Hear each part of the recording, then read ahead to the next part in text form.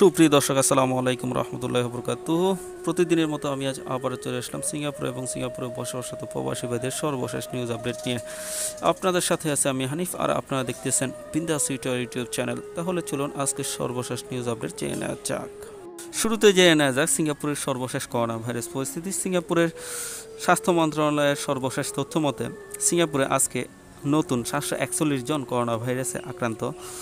রোগী শনাক্ত করা হয়েছে। সিঙ্গাপুরে এখন পর্যন্ত মোট আক্রান্তের সংখ্যা বিশ হাজার নয়শো উনচল্লিশ জন। আজকে আক্রান্ত আক্রান্তদের বেশিরভাগই অভিবাসীদের থাকার জায়গা ডরমেটরির সাথে লিঙ্ক রয়েছে।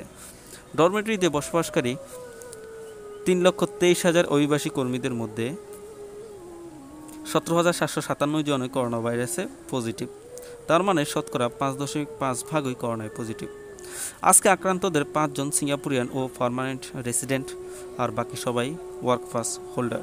আজকে চোদ্দতম দিন, এক হাজার নিচে করোনায় আক্রান্ত ব্যক্তি শনাক্ত হলো। সিঙ্গাপুরে করোনা ভাইরাসে আক্রান্ত হয়ে এই পর্যন্ত এক হাজার ছয়শো আঠাশ জন সুস্থ হয়ে বাসায় ফিরছেন আর বিশ জনের মৃত্যু হয়েছে।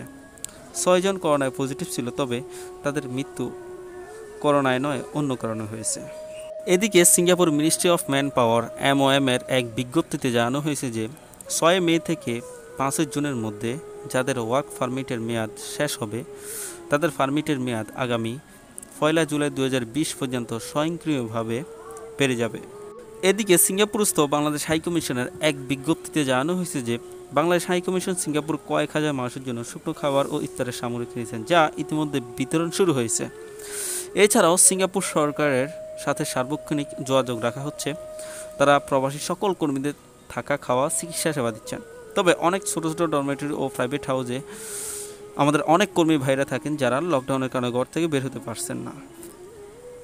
তাদেরকে আমরা অনেক আগ থেকে বিজ্ঞপ্তির মাধ্যমে আমাদের হটলাইন নাম্বার ও ইমেল অ্যাড্রেসে যোগাযোগ করার জন্য বলেছি। যেহেতু লকডাউন হওয়া ডরমেটরিগুলোতে সিঙ্গাপুর সরকার খাবার এর ব্যবস্থা করছে, সুতরাং এই সকল ডরমেটরিগুলো বাদে সারা যারা আছেন আপনারা আমাদের সাথে যোগাযোগ করুন।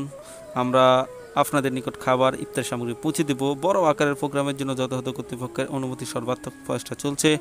বাংলাদেশ হাইকমিশন আপনাদের পাশে আছে, আপনাদের পাশে সর্বাত্মক কাজ করবে। এই হচ্ছে বাংলাদেশ হাইকমিশন সর্বশেষ বিজ্ঞপ্তি। সো গাইজ আপনারা যারা এই অবস্থায় আছেন আপনারা যদি ইফতারের সামগ্রী অথবা শুকনো খাবার কোনো কিছু দরকার হয়, আপনারা বাংলাদেশ হাইকমিশনে যোগাযোগ করতে পারেন। আপনার জন্য তারা পৌঁছে দেবে ইফতারি এবং শুকনো খাবার। সুপ্রিয় দর্শক, এই হচ্ছে সিঙ্গাপুরের সর্বশেষ নিউজ আপডেট এই ধরনের নিউজ আপডেট পেতে আমার চ্যানেলটা এখনই সাবস্ক্রাইব করে রাখুন। আর আপনার বন্ধুদের সাথে ভিডিওটা শেয়ার করে দিতে ভুল করবেন না। Thank you so much for watch this video দেখা হবে পরবর্তী ভিডিওতে আল্লাহ হাফেজ।